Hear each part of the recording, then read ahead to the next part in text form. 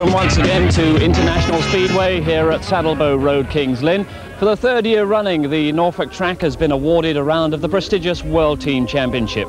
And today's meeting, the first step on the long haul to the final at the White City in August, is the UK qualifying round. But it's an absolutely vital meeting for two of the world's top speedway nations, England and the United States. England, team champions in 1980. The United States really always pretenders to that title. But today, with just two to go through, they must both overcome the very stiff challenge presented by Australia and New Zealand. So let's take a look at the team lineup, starting with England.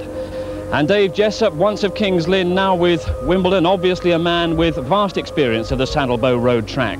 Kenny Carter of Halifax, surely a world champion of the future. Peter Collins, a great world champion of the past, comes into the side after a late injury to Chris Morton. And Michael Lee, the local favourite, world champion in 1980, reigning world long track champion, now coming back into his very best form.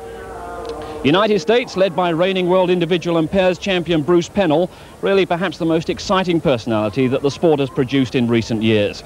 Dennis Sigalos of Ipswich always goes well here, and then the Moran brothers, Kelly of Eastbourne, a year older than Shawn from Sheffield. Australia, led by Billy Sanders, formerly of Ipswich, now of Kings Lynn, then Phil Crump of Swindon, John Titman of Hackney, and Gary Guglielmi of Coventry. A late change for New Zealand. Larry Ross is injured, so Wayne Brown of Sheffield comes in. But so much will revolve around Ivan Mauger, six times world champion, now sadly rarely seen on British tracks. So it's England, the United States, Australia and New Zealand, the UK qualifying round of the World Team Championship. Let's join the action and Dave Lanning. Spearheading the England attack almost certainly will be Kenny Carter, this 21-year-old from Halifax who has been their most outstandingly consistent rider of the 1982 season. This is his 17th appearance in international colours and he has been the mainstay of the England side in the current test series against the Americans. Australia will be looking to the flair and style and indeed local track knowledge of Billy Sanders, of course such a familiar figure here in East Anglian Speedway for 10 years with Ipswich and after a season at Hull last year he's back in Anglia with Kings Lynn so he certainly knows his way around the Saddlebow Road track and he's been in pretty good form here too in the last couple of weeks with two maximum scores. And this is the lineup for heat number one on the inside. The veteran six times world champion Ivan Mauger. He'll be in the white helmet colour, as will all the New Zealanders in the programme. Mauger on the inside. Next to him in blue, Australia's Billy Sanders. He'll be in grid two. Grid three will have Kelly Moran from the United States of America. And on the outside, the mercurial Kenny Carter from Halifax Dukes and England. So here we go, heat one, Mauger on the inside, next to him Sanders, grid three has Kelly Moran, on the outside it's Kenny Carter in yellow and black for England. Heat number one of the 1982 UK World Team Cup Final beautiful conditions. The sun shining and away they go. And Carter it is from the outside, charging across and Mauger has got away from the inside as well. And it's getting pretty tight in there as Sanders and Mauger locked together. And Carter made a little bit of a hash of that corner. He's back in last place as Moran comes through and Mauger has gone from first to last in one lap. Well, it really was a torrid first lap, and now the battle is thoroughly on between Sanders and Kelly Moran with Carter, who got squeezed out on the first corner, back in third place for England. And Moran, who's a real little tiger, has pushed Sanders way out of his path, and he's moved up front now. Sanders in second place, and uh, Carter now closing on the Australian.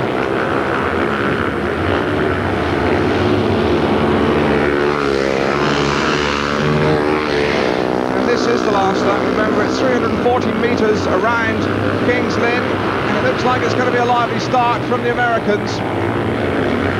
Moran's going to win it. Second place will be Sanders, two points for him, one only for Carter. So that's a promising start for the Americans. And Kelly Moran had to do it the hard way, worked his way through from the back, but he's opened the American account in fine style. The first quarter of Heat one again in replay. And as you can see, they all bunch up. And it's Mauger on the inside who gets clear. Following through on the inside too comes Sanders, with Carter getting squeezed out there on the second corner. Now Sanders comes through and watch for Moran, and Moran really makes his move through on the inside of first Carter, then hard under Ivan Mauger, and he moves up into second place, and after that, he sets his sights on Sanders up front. And it really was some fine action from the American around the first lap there. Two races gone, and as rather anticipated, the battle developing between America and England at the top, as you can see, with Australia still very much in contention, and New Zealand, who we rather feared would be out of touch as they have two of their riders, Ivan Mauger and Mitch Shirra, currently unattached with no score yet. Moving into heat three, and we'll have a look at the lineup. It is an interesting one with two late replacements on the inside, Dennis Sigalos from the United States of America, Next to him, Wayne Brown, who comes in for injured uh, fellow countryman Larry Ross. He's in the white helmet colour grid 2, grid 3. Has uh, hard-riding Australian Gary Guglielmi on the outside. Peter Collins for England coming in for Chris Morton, his injured teammate from Belle Vue. And as they hit the corner, it is Collins who roars across the field. Collins in front. Second place, the battle on between Sigalos and uh, Brown and Sigalos just moving through on the inside there. But this is some international comeback for Peter Collins.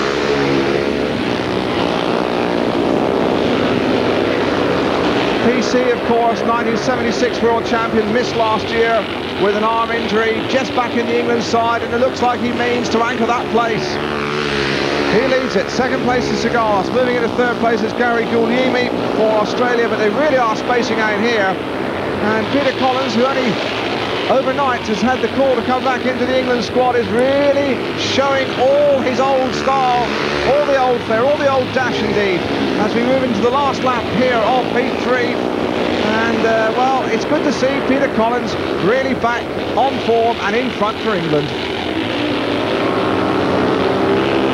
Over the line, three points for Collins in England. Sigalos was second, Guglielmi was third.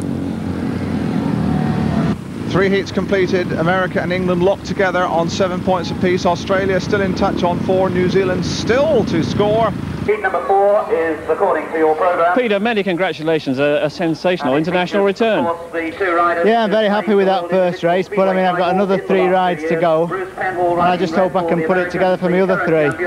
And a new track record, were you particularly wound up for this one? I didn't realise I was going so fast, but uh, very, very happy, yeah, but uh, I've just got to do well in the other ones, that's the main thing. Heat six brings Peter Collins back into contention. Peter Spencer Collins, the eldest of five racing brothers, no less, from Lymm in Cheshire. The eldest, of course, and uh, the only one as yet who has managed to annex the world individual crown. His career since then has had its ups and downs. Certainly seems to be on the upswing now again after a season-long layoff with an arm injury. On the left-hand side, Collins will be obviously carrying that arm a little bit. Let's have a look at the lineup. You can see Shawn Moran on the inside, David Bargh from New Zealand grid 2, Collins grid 3, Sanders from the outside, and again it looks like Collins and Moran, and it's a rare battle going on up front, and Collins has gone around the outside, and Moran almost pulls a wheel. He did well to control that one. But Collins is really back at his best, although Moran too saw an opening there and shot through, but Collins hasn't finished battling, he's on the outside. Moran's on the inside, and we have got a race on now.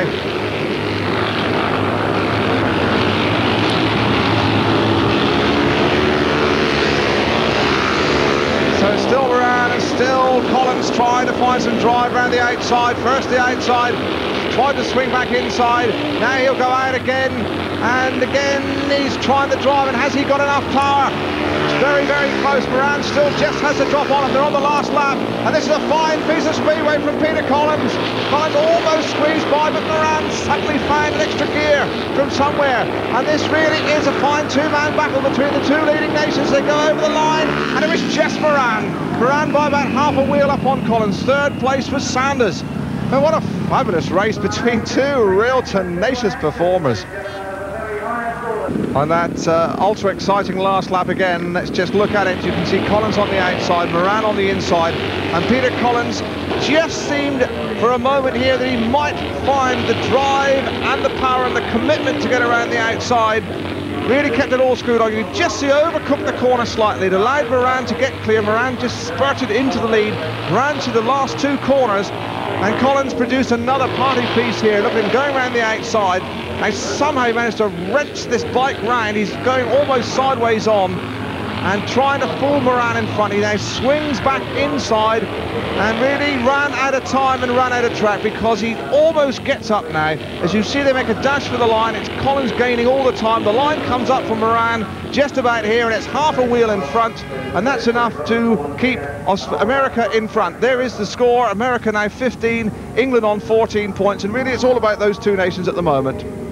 Well, who said that uh, Speedway wasn't a family sport? Oh, look out, Deirdre. Here come those nasty big motorbikes again. Advancing to Heat 8, USA and England squared up on 17 points apiece. Australia and New Zealand really out of touch now as we move in to Heat 8 and uh, it may well be a bundle of dynamite because we have in contention Bruce Penhall, the world individual champion, Kenny Carter for England, and they've had one or two little brushes, these two. remember in the Intercontinental final of the World Individual Championship last year, they tangled, and only last week they had another uh, little argy-bargy about tyres in the fourth test match at Belle Vue. And Carter has been quoted as saying, I never seem to be able to run in or meet Bruce Penhall without there being a little bit of needle. So let's watch Heat 8 on the inside Shirra. Next to him, Carter Penhall's in grid 3. Guglielmi is on the outside. And Penhall has got a flyer. Penhall is away, and so too on the inside is Shirra, but Penhall it is who stretches away. Carter's back in third place, and Carter is strangely subdued, although he comes through there. He must have heard me. Carter really made his move into second place, and now he must chase after Bruce when the world champion gets in front, he doesn't normally make mistakes, and he isn't very often caught either. He's in front. Carter's now second. Third is Shirra. I know Kenny Carter would love to get up and challenge. This is lap three. He does seem to be closing the gap. And Penhall is aware that he's there and stretches down this back straight around the Saddlebow Road circuit. As always, beautifully prepared by Cyril Crane and his team. They're into the last lap, and Carter has again moved up, and Carter's trying the inside run on the grass there. That uh, might be worth having a look at because it looked like Kenny Carter went across the inside line as they go into the bottom corner, and Carter throwing everything in. Penhall holding on as they come over the line. It's going to be a close call, and it's Jess Penhall. Carter was second, third, there was Shirra. And uh, that last lap may well look and may be worth re-scrutiny because it looked as though Kenny Carter roared across the white line as they went into this pit corner. And that does keep America and put them back in front. Just one point in it, 20 the USA, England on 19 points, Australia and New Zealand, well, a sad story for the Anzacs. Bruce Penhall, America back in front with that uh, spectacular win of yours over Kenny Carter. But you got a bit of satisfaction from that. Yeah, it was a close uh, race. I had a pretty good start on Kenny, and uh, I had a pretty good lead to begin with, but he caught me right back up really quick, which I knew he would be. And, uh, you know, it was uh, down to the last corner coming out of the last lap, and I just happened to probably beat him by, I'd say, about half a wheel or so. But I know Kenny's always on you. Well, before that last corner, Kenny was right up inside you, almost on, well, he was on the grass, wasn't he, coming in to that last lap? I think Kenny probably uh, thought I was going to drop it down on him a little bit uh, too much there, and that's why I took a part of the infield with him. But it was fair doings on his part. He, uh, we just had a nice race down that back straightaway, and I think I was just in the grip a little bit more than he was and got a better drive to that next corner.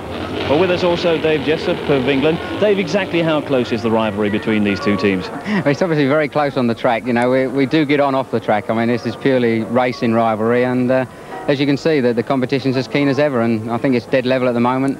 All right, a little bit two-horse race at the moment between England and America, but super second half to come, I'm sure. It's not just about qualifying, is it? You really want to go out and win this one. We come here, we must qualify. That, that we, we obviously got that in our minds. But when you're racing Americans on a Sunday afternoon with the sun shining, you know, we could do it winning. There's no two ways about that. Well, also on Wednesday night, we've got the deciding uh, test. This really sets things up for that, doesn't it?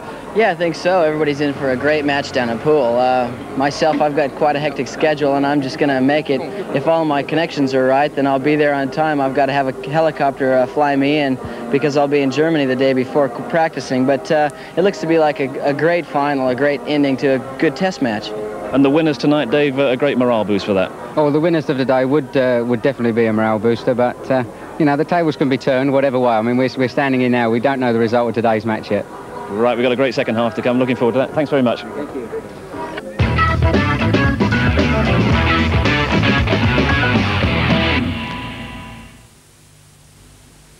If you really want a smart car, take it to Smarts. Exhaust fitted free while you wait at Smarts. New at Smarts, sun tuning by the experts. Low price leading make tyres for all sorts of cars at Smarts of course. Accessories, spares and body parts all at Smarts Auto Parts, Aylsham Road, Norwich.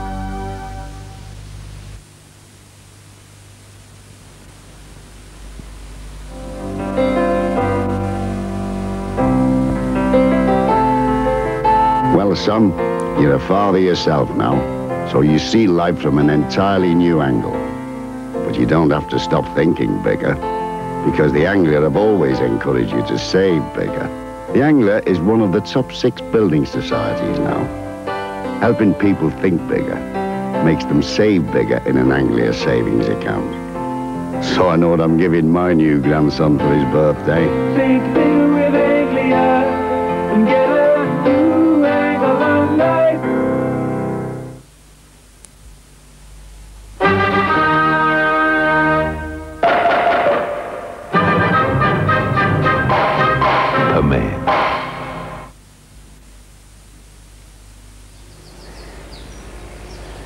Lunchtime, then? Aye. Knows how to make a salad, she does. Aye.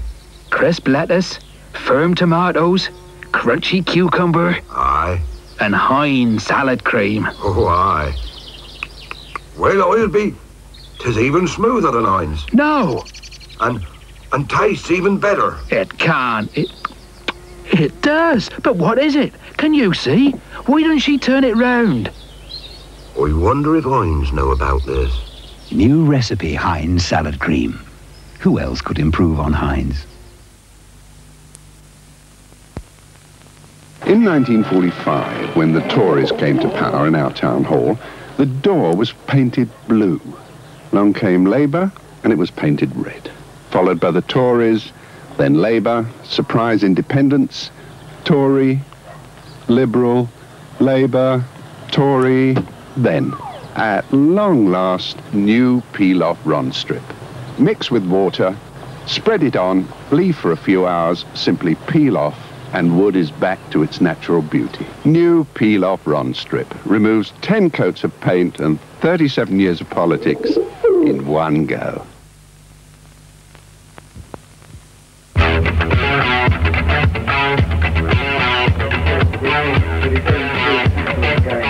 Welcome back to sunny Saddlebow Road in this UK final of the World Team Championship. England and the United States really neck and neck as we go into the second half and rejoin Dave Lanning. Coming into Heat 9, the Americans on 20 points, England back just one on 19. And we have two of the unbeaten individual riders in competition here in Heat 9. There's Kelly Moran just going through his usual idiosyncrasies up to the start line, just knocking his front wheel against the uh, safety fence and digging down to find some extra drive. He's going to be in grid two here. And he's got Dave Jessup, who is unbeaten for England on the outside. We have a very, very late reserve change. It's Baker on the inside. Next to him, Moran. Grid three, we have in white David Bargh, and on the outside, Dave Jessup.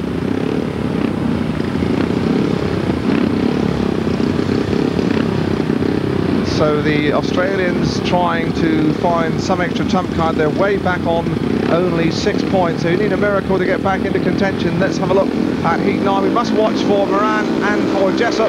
Here they go. And Jessup's got away, away again. A tremendous start from the little Englishman. He roars across the field. Moran's in second place. In third place, it is Bargh. And now can Kelly Moran get up on Jessup? Two little men, but we're going to have a mighty tall battle. And it was getting a little bit hectic in there for third and fourth too, with Baker making his move up on Bargh. So we've got a battle up front and we've got a battle for the third and odd point. Here's the first battle and there's the second one. And uh, we have to look in two places at once. Certainly Moran's making his effort up front. He'll try the outside and the inside. He can really find drive and grip and extra power from any direction, Moran. And he's going around the outside of Jessup, and Jessup has contained him there into the last lap. Now Bargh seems to be up for the third place point, and again Moran will try to swing back down the inside of Jessup, and I think he might just have the drop on him into the corner together. They're absolutely shoulder to shoulder, and once again Moran has shown his bravery, his courage, and his commitment, and he has won Heat 9 from Jessup, third place, just hanging on in there. It was Dave Bargh, but there's no stopping little Kelly Moran this afternoon. That really was some piece of passing on the last lap. You won't see a better last lap of Speedway than this one.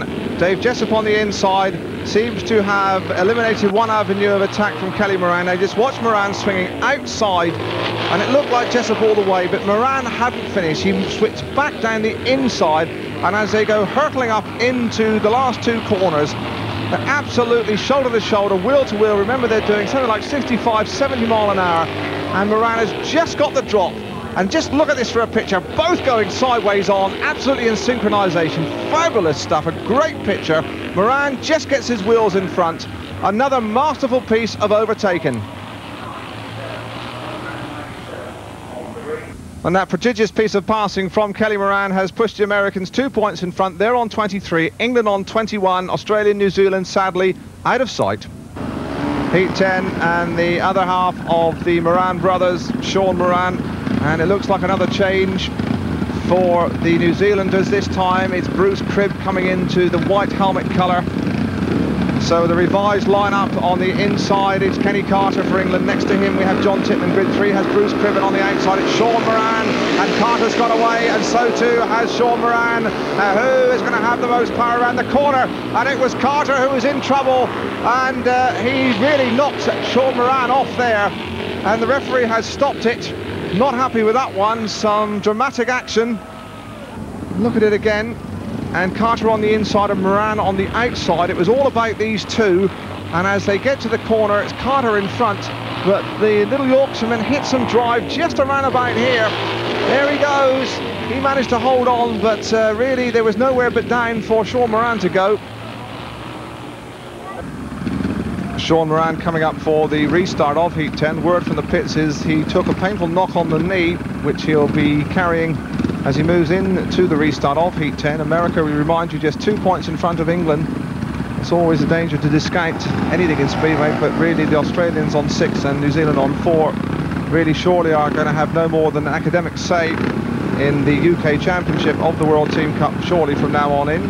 Here is Carter, who did well to hang on in that first corner incident, but uh, may be considered a little lucky to be allowed back in the restart. Carter on the inside, Titman grid two, Bruce Cribb, the New Zealand reserve in grid three, Moran on the outside for the Americans. Oh, Carter again was a bit lucky there not to break the tapes. And away they go this time, and again it is Carter from the inside and Moran from the outside. So now, almost an identical replay. Carter goes clear up the back straight. Shawn Moran coming bursting, trying to bore a hole right through him. Carter is aware of him and has contained him.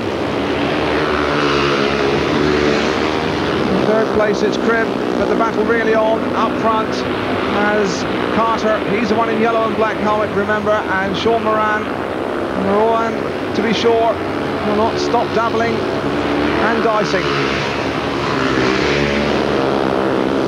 A length separating them, and again it's Moran trying to find something down the inside. And Carter just seems to have his measure at this time. They're into the last lap, just another 400, rather 340 metres to go. And Carter is hanging on. It looks like he's set for his first race win of the afternoon. I wonder just how much that knock on the knee has taken out of Shawn Moran. Just a little bit of the drive gone. And over the line, it's Carter for England. Second, Shawn Moran. Third, in blue, just getting up there, was uh, John Titman for Australia. Well, with me, the uh, older of the two flying Moran brothers, Kelly Moran. You've just come from uh, Shawn in the pits. How is he? Oh, he's all right. He just seemed to twisted his knee a bit there, laying a bite down for Kenny Carter, but I think he'll be all right for the rest of the meeting. How did you see that uh, that first lap incident? Uh, Kenny was on the inside trying to um, go for it, as we say. My brother was on the outside.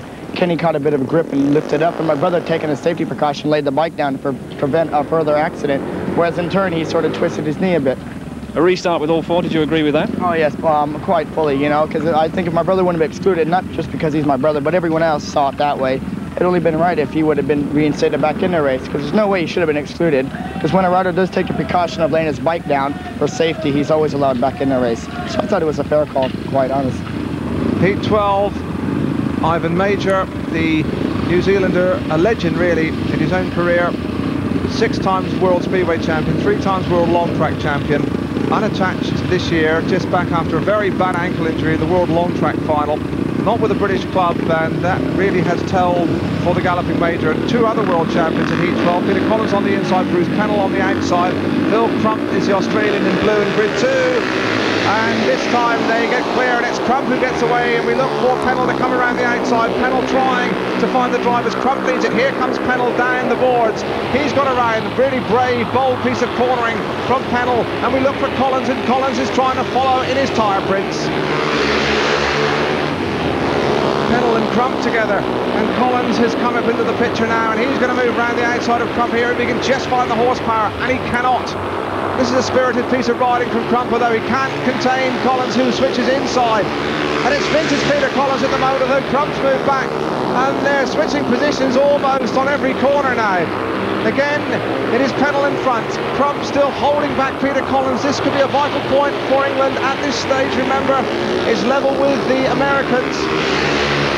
And Phil Crump, world number three when Collins won the title in 1976, is dealing the Lions what uh, might be a telling blow, and he might just get up on Penhall if the world champion is sleeping. Over the line they come, it's going to be Penhall wins it. Crump is second, Collins is third for England, and that could be telling. That might just be a crucial slip. Penhall has won it, was very close throughout Heat 12, but it has made a big difference to the scores at the top. John Berry, one half of the England management team of Berry and Eric Boocock, looking a trifle pensive as Michael Lee prepares for the action in Heat 13. Just four races left in this always absorbing uh, UK final of the World Team Cup.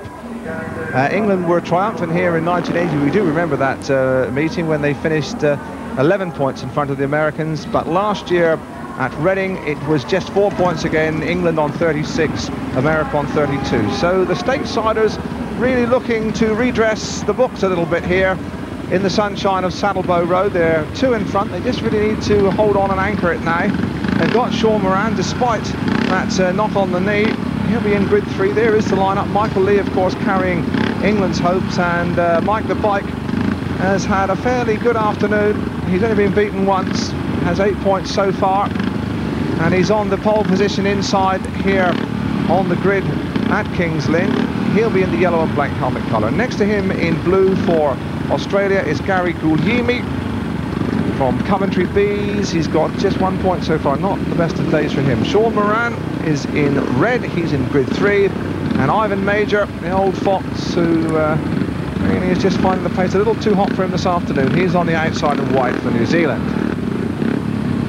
So here we go again in heat 13. And Lee has beautifully anticipated the start. He's got clear. Second place is Moran.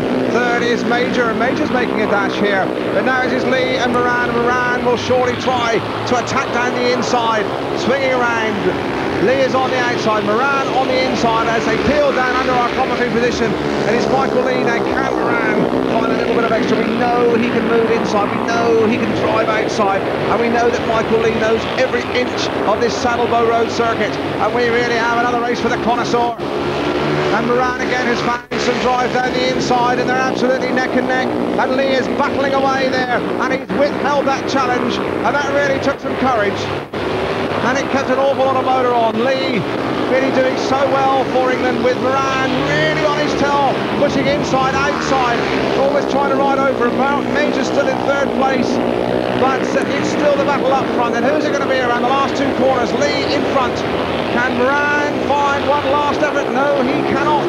And Lee has won what could be a crucial race for England. Second was Shawn Moran. Third was Ivan Mauger keeps it very, very close. Three races left, just one point in it. America 32, England 31, and it looks like another fabulous climax between the Americans and the Lions. Michael Lee, a really crucial win that for England, but uh, you couldn't afford to go to sleep in that uh, in that heat. No, I could hear Shawn's motor buzzing. Sort of, he was underneath me most of the race, and I just kept on my toes, and I knew the, the best line.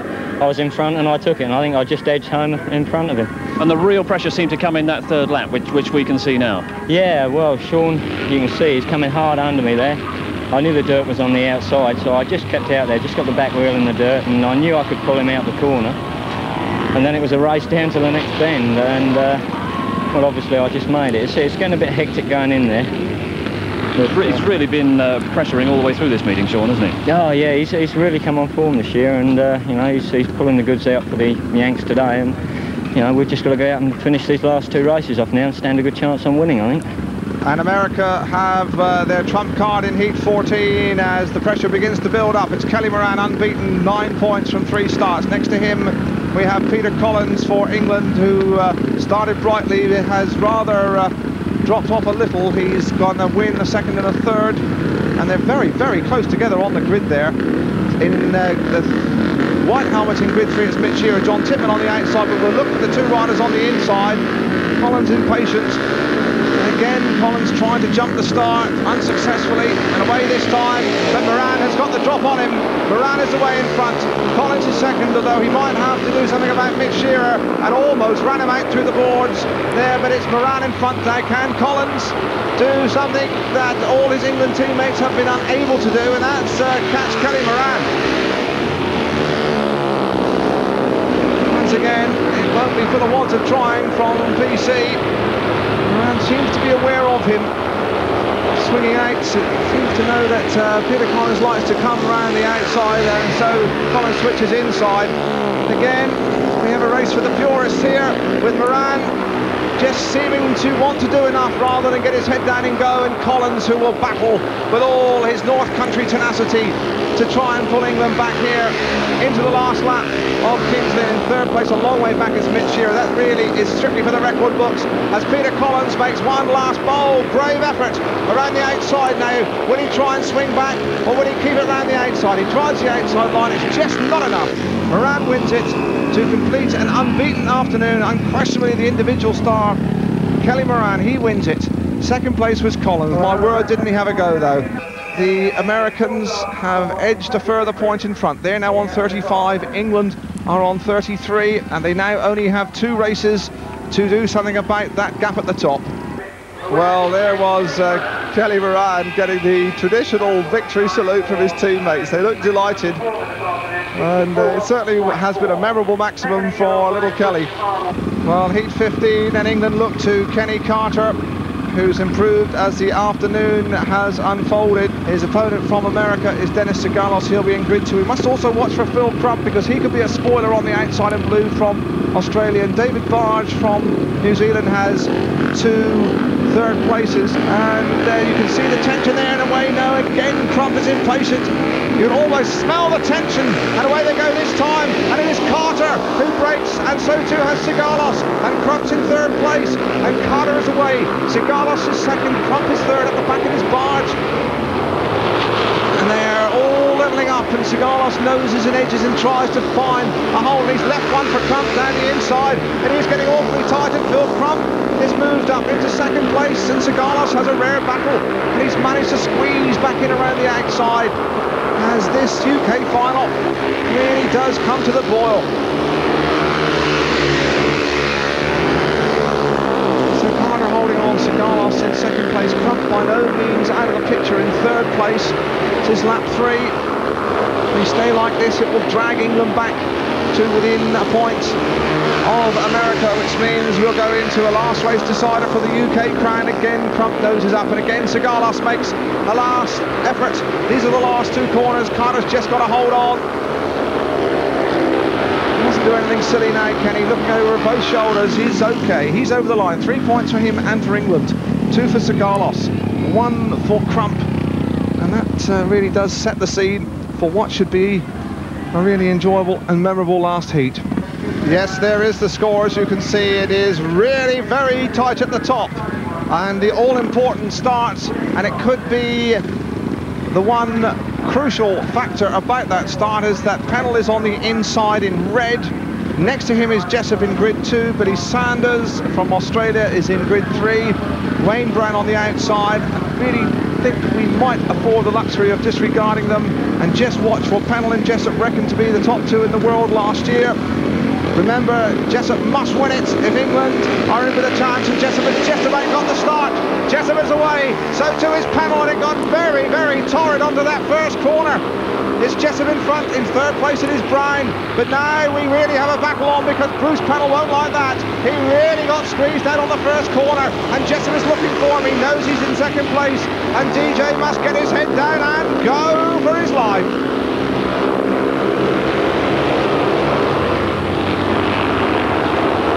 And now Penhall switching inside. And we know what a brilliant rider from the back Bruce Penhall can be. This is lap three. Terribly tight, about a length between the pair of them. Which way will Penhall go? Inside or outside? Jessup does just seem to have an extra little jot of power. It could be so telling. Again, Penhall trying it into the last lap. And Jessup has ridden an immaculate line. Really laid it back there. I think he's trying to con Jessup. They have to move now. They're down the back straight for the last time. And here comes Penhall again around the outside. He's making his big drive now. And uh, Jessup is aware of it and wins it. Wins it looking back. The crowd leap to their feet.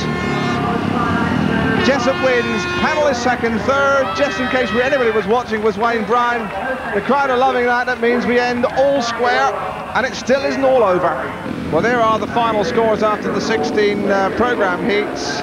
America and England squared up at 39 apiece. No doubt at all about the qualifiers. There is Dave Jessup who rode a captain's race to make sure that we go to a man-for-man runoff for the UK crown and it is going to be fascinating to see who England uh, pull in for that runoff. If you think I'll, I'll not yeah, if you think so, I'll be able, you know. Yeah, you sure then? Yeah. You got a you got an edge on? Geared up, yeah, well, I think we're uh, You got an edge on, have you? Peter, it's quite a return. How do, how do you accept that uh, decision for the ride-off? Uh, looking forward to it. I just hope I can get out there and do it, but uh, it's going to be difficult, but try and get myself going and get it won. Kelly, you were really the obvious uh, man for the ride-off. How are you looking forward to the ride against Peter Collins? Oh, pretty good. It just depends on what side of the coin I'll get, you know. If I get a good choice, I'll probably take the outside. But with Peter, you know, you always have to worry at Peter just coming a bit further around you on the boards, you know. The toss really is that important, is it? Yes, it does. It's all a matter of getting out of the gate, then you have half the race done, you know. But if it goes the other way, then you got to start all over again. It's fall on the floor. I don't care. Oh, yeah, on the floor it's going. Heads. Heads, Heads is. now what do you do? Best of luck, Kelly. I'll, I'll take the outside. Four. Oh, yeah. Good line. The crowd settles in expectancy as the two contestants for the runoff, England and America, come to the line. We've never ever had such a tight finish in a World Cup event. All the riders you can see of various teams, some of them can hardly uh, face the reality. They're all gathered on the first corner. A nail-biting climax then. Moran on the inside, Collins on the outside. Who is going to get away from the tapes first? It's Collins from the outside, just, I think, to the corner. Collins, although Moran made a terrific effort. Collins leads it. Now, can Moran again find that very, very special piece of magic to work his way through? Collins in front and really going as though his life depends on it.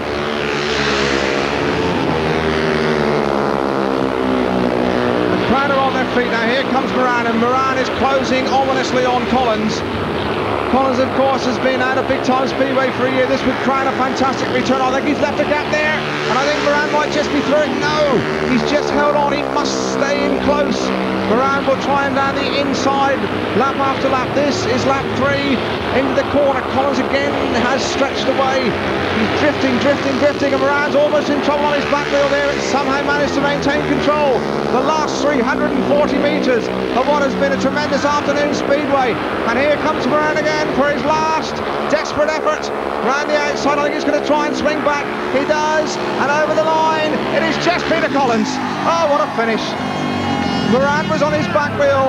Collins had both wheels on the ground, but PC, Peter Collins, the old maestro of English Speedway, who only came into the team as an overnight replacement for his Belle Vue teammate, Chris Morton, has delivered the goods for England, and that's an enormous psychological boost for them against the Americans. Oh, what a finish, and what a day for Peter Collins.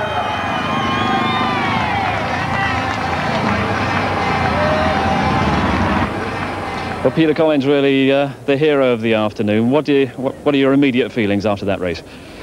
Um, yeah, very happy to go out there with it all resting on me and certainly to come and do well. I was dreading going out there and losing because suddenly all the pressure was on me. all the weight on my shoulders, but it worked out fine. But just like to say it was a hell of a team effort. I mean, the thing is, without our lads going out there and putting us in that position of being level after we'd finished, um, gave me the opportunity because uh, without them doing that, I mean, I wouldn't have been out there in a run-off. And uh, I mean, they've all done just as much as I have. So, you know, I'm very pleased we've won. It's been a great result for us today. So that really sensational performance from Peter Collins giving England victory in the run-off and really sets things up for the next leg of this competition, the Intercontinental Final in Voyen in Denmark when England and the United States meet Sweden and Denmark. But for now, from Saddlebow Road, Kings Lynn, a very good night.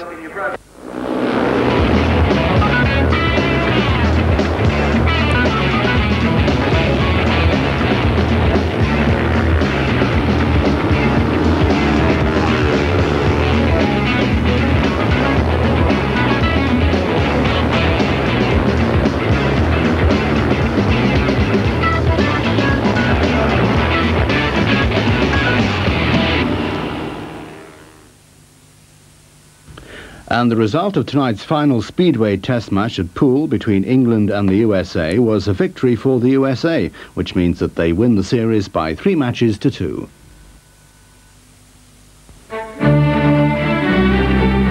Programmes for Thursday evening here on Anglia.